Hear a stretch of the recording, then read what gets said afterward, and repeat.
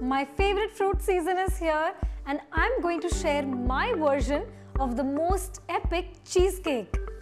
Here is the easiest and yummiest strawberry cheesecake which you are going to love. I promise you that cheesecake making has never been easier. We are going to use my new Atomberg mixer grinder. This is the coolest new addition to my kitchen and it comes with four attachments. Let's quickly start the recipe. First, we will make the base of the cheesecake. I am adding a nutty twist to the base of the cheesecake. I like the nuts to be slightly coarse and not a fine powder. And Atomberg's slow mode is perfect for the same.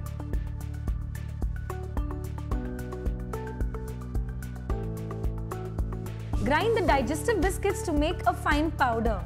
And now let's mix biscuit powder, the nuts along with some butter.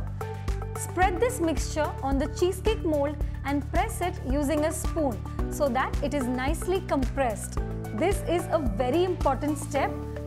Put this mold in the freezer for 20 to 30 minutes.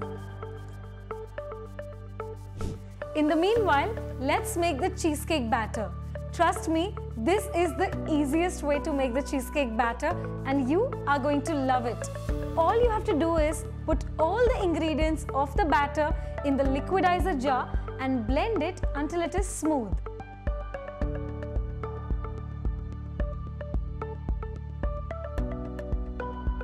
What I love about this mixer grinder is the safety feature. The mixer grinder won't turn on until it is locked properly. Pour the batter on the cheesecake crust.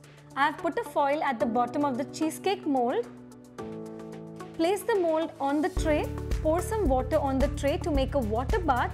This will give a super creamy texture to the cheesecake. We have to bake this at 150 degrees Celsius for 50 to 60 minutes. Once it has been baked, cool this until it comes to room temperature and then refrigerate this for at least 4 to 5 hours. Finally, let's make a delicious strawberry topping. I'm going to chop some strawberries using the chopper jar. Yes, you heard it right. This mixer grinder also comes with a chopper jar.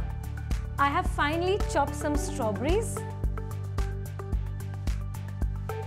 Transfer the strawberries, sugar, orange zest and lime juice to a pan. Cook this until it becomes thick.